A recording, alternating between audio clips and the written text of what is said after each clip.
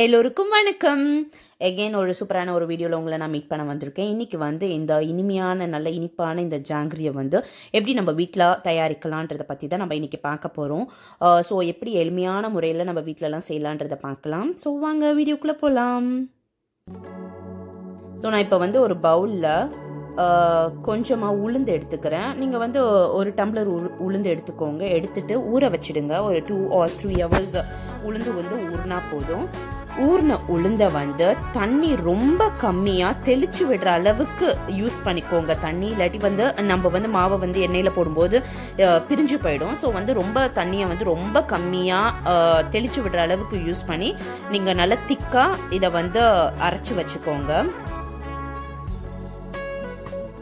Next இப்போ sugar சிரப்காக வந்து நான் வந்து சுகர் சிரப் ரெடி பண்ண போகிறேன் ஸோ அதுக்காக நான் வந்து ரெண்டு பவுல் இந்த மாதிரி ரெண்டு பவுலில் சர்க்கரை எடுத்துக்கிறேன். ஸோ சர்க்கரை எடுத்துக்கிட்டு ரெண்டு பவுல் சர்க்கரைனா நம்ம வந்து ஒரு பவுல் தண்ணிக்கு வந்து நல்ல சுகர் சிரப்பை வந்து ரெடி பண்ணணும். இப்போ வந்து மூணு டம்ளர் அந்த மாதிரி நீங்கள் அளவுக்கு வச்சுருக்க மூணு டம்ளர் சுகர் எடுத்துக்கிட்டிங்கன்னா ஒன்றரை டம்ளர் தண்ணி நீங்கள் யூஸ் பண்ணிக்கோங்க. சைமல்டேனியஸாக நான் பக்கத்துலேயே நான் என்ன பண்ண போகிறேன் அடுப்பில் வந்து எண்ணெய் காய வைக்கிறேன். எதுக்காகனா ஜாங்கிரியை சுட்டு எடுக்கிறதுக்காக சைமல்டேனியஸாக சைடில் எண்ணெயை காய வைக்கிறேன். ரெண்டு இடத்துலையும் ஒரு பக்கம் வந்து சுகர் சிரப் வந்து ரெடி ஆகிட்டே இருக்குது ஸோ இந்த இதெல்லாம் பண்ணிகிட்ருக்கிறது வந்து என்னோட அம்மா. அவங்களையும் காட்டியிருக்கேன். ஸோ இவங்க தான் என்னோடய அம்மா.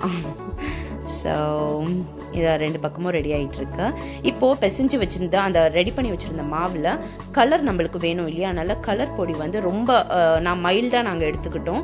நீங்கள் வந்து உங்களுக்கு எந்த அளவுக்கு உங்களுக்கு தேவையோ நீங்கள் அந்தளவுக்கு ஸ்ட்ராங்காக எடுத்துக்கலாம் கலர் பொடி. ஸோ அதை லைட்டாக தூவி அதை வந்து பிசைஞ்சிட்டு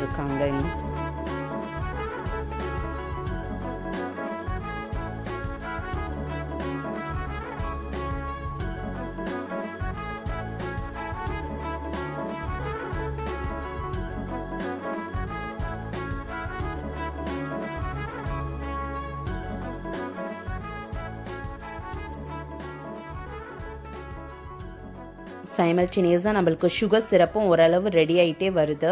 நம்ம அடிக்கடி கிண்டி விட்டுக்கணுங்க. அப்போ தான் வந்து அடியில் வந்து அது பிடிக்காம அடி பிடிக்காம வந்து நம்மளுக்கு வரும். ஸோ கொஞ்சம் திக்காக எடுத்துக்கணும். நம்ம கையில் வந்து அது நூல் மாதிரி வர அளவுக்கு வந்து எடுத்துக்கணும் சுகர் சிரப்பை.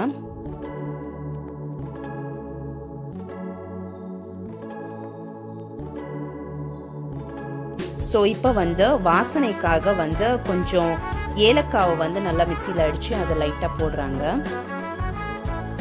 நல்ல வாசனை வருது. நல்ல வாசனையாக இருக்கிறதுக்காக. ஏலக்காய் அது டைஜஷனுக்கும் ரொம்ப நல்லதுங்க. எப்போவுமே ஏலக்காய் யூஸ் பண்ணிக்கோங்க.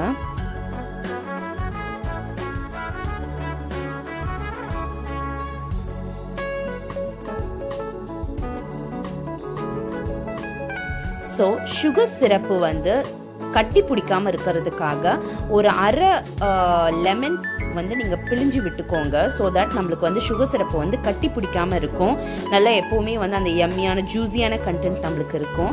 ஸோ வந்து நீங்கள் பிழிஞ்சு விட்டு கண்டென்ட்டுக்கு ஏற்ற மாதிரி இப்போ அதிகமாக பண்ணுறனால ரெண்டு ஒரு ஃபுல் லெமன் பிழிஞ்சு விட்டுறாங்க. மேக்ஸிமம் நீங்கள் அரை பிழிஞ்சாலே போதும்.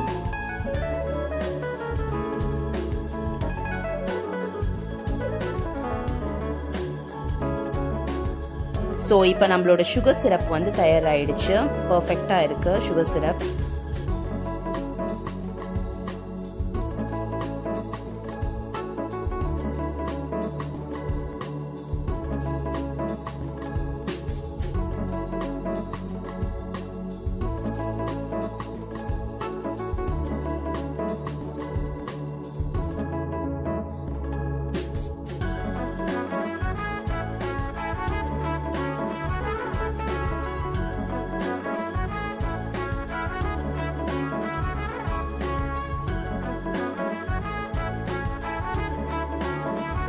அடுத்து இப்போ ஜாங்கிரி போடுறதுக்கு ரெடி ஆகிட்டோம் இந்த மாதிரி ஒரு கவர் நார்மல் ஒரு கவர் எடுத்துக்கோங்க.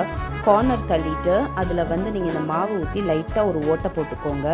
இப்போ பாருங்கள் எவ்வளோ அருமையாக வருது பாருங்கள் சூப்பராக வருது. ஸோ இந்த மாதிரி டைரெக்டாக நம்மளுக்கு வேறு எந்த ஒரு ஆயுதமும் நம்மளுக்கு தேவையில்லை. வீட்டில் நார்மலாக இருக்கிற ஒரு கவரே போதும். ஸோ அழகாக சுற்றி வருது. எங்கள் அம்மா ஓட்டையை கொஞ்சம் பெருசாக போட்டுட்டாங்க. ஸோ ஹோலை நீங்கள் வந்து குட்டி எந்த சைஸ்க்கு உங்களுக்கு வேணுமோ அந்த சைஸ்க்கு நீங்கள் வந்து போட்டால் உங்களுக்கு சூப்பராக வந்துடும் ஸோ இந்த மாதிரி பெரிய பெரிய ஜிலேபியாக வந்து சுட்டு எடுத்துகிட்டு இருந்தாங்க. ரொம்ப யம்மியாக இருந்தது. ரொம்ப சாஃப்டாக வேற இருந்ததுங்க. ஸோ அது வந்து ஒரு வெந்து வர பதம் உங்களுக்கு இதை பார்த்தீங்களா? நல்லா அதை அது நல்லா கெட்டியாக பிடிக்குது.